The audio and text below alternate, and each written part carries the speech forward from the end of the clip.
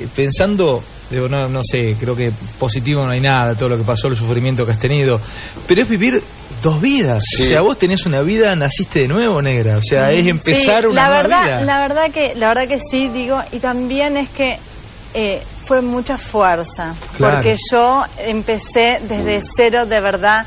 Yo digo que mi cerebro, eh, digo, yo soy enamorada del cerebro, porque digo, de verdad, podía hablar ni una palabra, todo, todo el mundo derrame, sabes que se rompe lugares del cerebro. Y el cerebro. Pero haces eh, la... Empieza a Para otro conectar de nuevo. y-. Claro, y yo digo, esto vos decís de Cerati, digo, capaz No se que sabe. no, pero capaz Que que, sí. sí. porque que no sabes si el cerebro está trabajando para lindo- otros lugares. Claro. Digo, no es fácil, no fue fácil para mí, digo, estuve en tres meses en... en No, pero- pero nada que ver lo que te pero, Verónica, No, querida, digo, decir, lo que también... te pasó con nada también, que ver. Total, seguro, pero digo, también está, hay que cuidar el cuerpo. Dios quiera que se recupere O sea, fuerza de voluntad porque también. hay que cuidar el cuerpo, porque si, si vos haces las cosas más o menos bien, si te pasa algo de esto, pues soy mucho Sí. Y qué lindo mejor. personaje tu, tu ex, digamos, porque ustedes se habían separado antes del accidente. Sí, sí. Y sin embargo él... dulce Y eso. pasa fue muchos muchos años, o sea, muchos años. Por ejemplo, ahora te voy a hacer una pregunta muy estúpida, ¿está bien? Suponete que yo te digo, te empiezo a hablar y te quiero seducir y qué sé yo. Digamos, vos como mujer en ese momento tendrías tus armas, tus cosas para... A ver qué... Yo te veo una cosa tan de nena, toda, como que te daría... Pienso que te daría vergüenza, que te pondrías colorada. ¿Te pasa de esas cosas? Y un poquito sí, Claro, nada. porque es como empezar de nuevo también en todo, digamos, Eh, ¿no? me olvidé de un montón de cosas. Todo, me olvidé. Bueno, pero eso se aprende rápido, negra, quédate tranquila. No creo, o sea, no, no es que fue, ah, no es, ah, ya estoy. Te... No, Claro, ahí se ¿cómo- empezar de nuevo en todo, claro. ¿Cómo empezaste, a- ¿Cómo empezaste a Qué caminar? interesante. A caminar, ¿cómo, ¿cómo empezaste a caminar? Ah, y- sí, despacio. El primer paso, ¿a quién te lo hace dar? ¿Un médico? Sí, yo, cre- yo creo que, sí, no sé, es que era tan despacito todo que no, no, s- no sé. O sea, sí que me, me acuerdo que vi con pañales Sí, y me puse loca. cuando te viste. Claro, y quería caminar y no podía, No podía. y decía, y dije, listo, estoy loca y encima, ¿qué pasa acá con la gente? Claro, Incluso, no entendía Verónica, hay, una, hay una imagen tuya que ella contó. No sé si Mariana tiene algún recuerdo también cuando, cuando empezás a tener conciencia de tu propio, de, de la situación en la que vivías. Vos tenías la cabeza por tu situación rapada, tenías eh, y te viste y pensaste que estabas en un manicomio. Sí. ¿Eh? Estabas claro, se vio rapada y De dijo que... ¿En serio? Sí, claro, pensó que estaba en un manicomio. yo, yo estaba trabajando un montón, estudiaba locutor. Locución. Locución. Estaba estudiando, estaba un montón de cosas, así, mi vida estaba perfecta, digo, es lo que yo decía, yo no dejaba nada por ir a, a con mi papá a comer un asado, digo, Ajá. yo pero estoy feliz ahora, antes, lo que sea, porque hay que hacer las vidas, la- hay que hacer las cosas ahora, Ahora. o sea, Lo que a uno ya- le hace bien. sí, yo tenía la cabeza No rapada para también, me raparon la cabeza. ¿Y? Pero yo creí que fui internada por algo estético. Nunca me imaginé ¿Cuándo que era te un despertaste? Cuando me desperté, sí. Pensé que me, me estaban haciendo las lolas. Yo decía, no, quiero caminar, o sea, cualquiera. Y nada.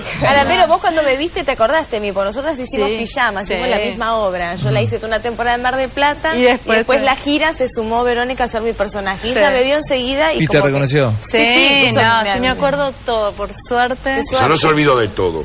De algunas cosas no, No, te no, olvidaste. en e- sí, no me acuerdo la gente y eso. ¿Sabe que el hombre Eh, lo que pasó cuando pasó eso de verdad, eh, lo que digo. ¿Te acordás de eso?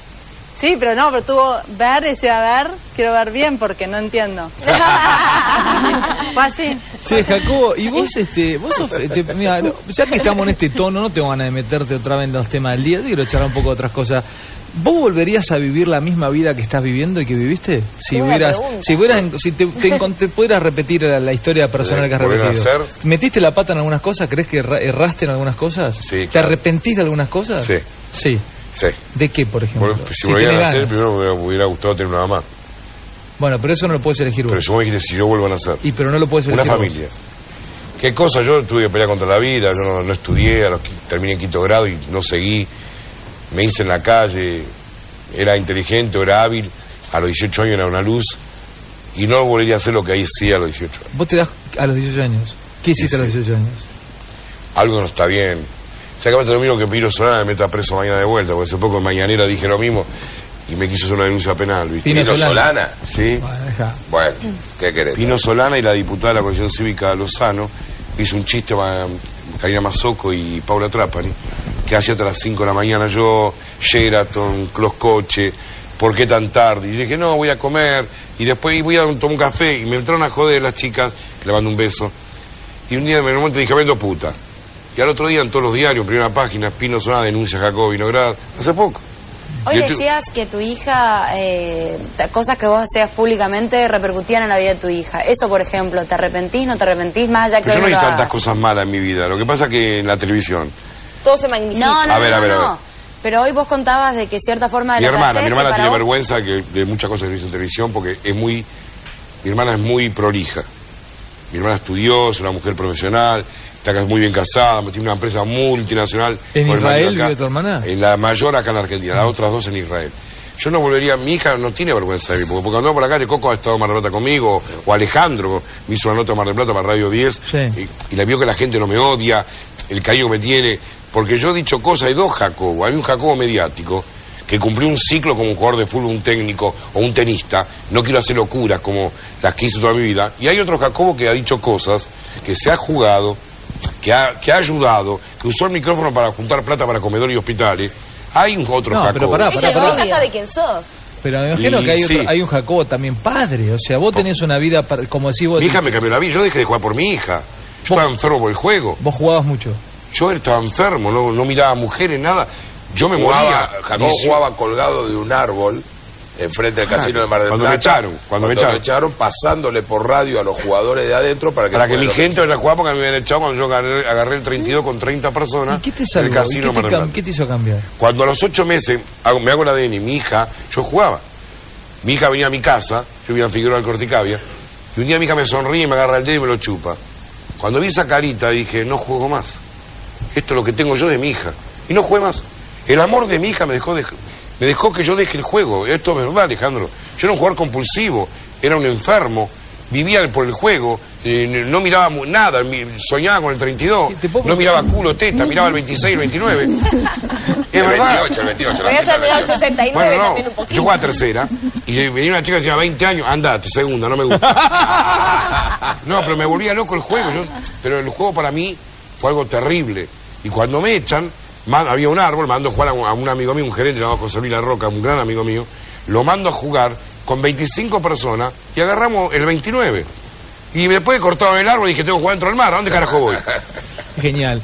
Bueno, es una noche maravillosa. Pero el juego es una Eh, enfermedad muy grande, no se claro lo recomendemos sí. a nadie. La Muy muy, muy. Hubo gente que se pegó un tiro, Alejandro, que se Ya lo mató. sé, eh. sí, durísimo. En el baño del casino. Después del, después del corte vamos a ir a, a este, vamos a una, una reflexión final de quienes están acá esta noche. Me va a encantar escucharlos a cada uno. A Mariana, a Jacobo, porque es otro Jacobo el que estamos escuchando, eh, desde otro ámbito donde lo estamos entrevistando, y Verónica este Perdomo. Yo le quiero preguntar a Vero, ¿por qué cree que la vida la puso a prueba de esta manera? Este, ¿qué, ¿Qué cree que? Porque nada es porque sí. A Mariana también y a Jacobo porque ha tenido la vida que tuvo, o que tiene, ¿eh? una vida hermosa la de Jacobo hoy, ¿eh? está feliz con su hija. Eh, te presento Romoldiclo, un gel analgésico antiinflamatorio con diclofenac. Romoldiclo es un analgésico tópico que actúa sobre la inflamación, alivia el dolor en esguince, lumbalgias, tendinitis y dolores de origen artrítico, reumático, muscular. Romoldiclo si desinflama, alivia. Lea atentamente el prospecto y ante la menor duda consulta a su médico o farmacéutico. Les hago una pregunta si no tienen planes ni para hoy, ni para mañana, ni para pasado, necesitan agenda cultural. ¿Dónde? www.buenosaires.gov.ar barra agenda cultural, la mejor manera de no perderte nada. Tenés miles de actividades culturales todos los días, ya sabes, www.buenosaires.gov.ar barra agenda cultural y empezá a disfrutar lo que más te gusta haciendo Buenos Aires, haciendo la ciudad. Vamos a ir un cortecito y ya venimos en dos minutitos. Yo quiero mañana, ojalá, poder ver a los intrusos de nuevo. ¿eh? Le mando un abrazo a Jorge, a toda la, a toda la muchachada. Eh, poder un encontrarlos mañana. Es un canal un que los necesita, es nuestra casa, es América y de verdad me encantaría. ¿eh? Somos, son la locomotora de es. este tren. Yo ¿eh? tengo acá Así que una gran abrazo para sí. y Sí, querido. que Sí. fútbol. Pero ya tuve un programa en Fox de fútbol. ¿Te bancás eh, eh, decírmelo después, de la- después del Pero quería corte? que vos la preguntes. Dale. Para los jugadores de fútbol, yo Sí. le hablé a cámara. Sí. A todos los jugadores. Sí. Que el orgasmo dura 8 segundos y la- el día tiene 24 horas. Porque ellos que están infiltrados, técnicos, se rompen la rodilla, con celos, se van del país. pierden la cabeza. Yo amo a los jugadores de fútbol, tengo muchos amigos. ¿Por qué una señorita los puede arruinar? Quiero que hablemos de eso. Ocho segundos la cosquilla del orgasmo. La dignidad, 24 horas. Ya venimos, dale un minuto.